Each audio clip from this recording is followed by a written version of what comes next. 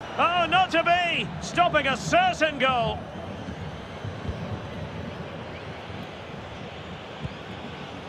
Modric.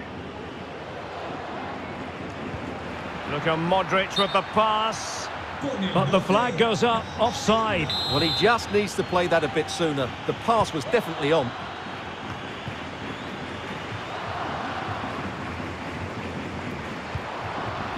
Rodrygo, real chance.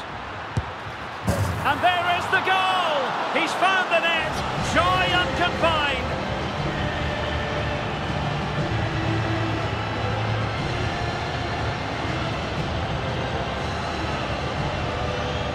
Well, here it is again, and it's all about the pace on the counter-attack.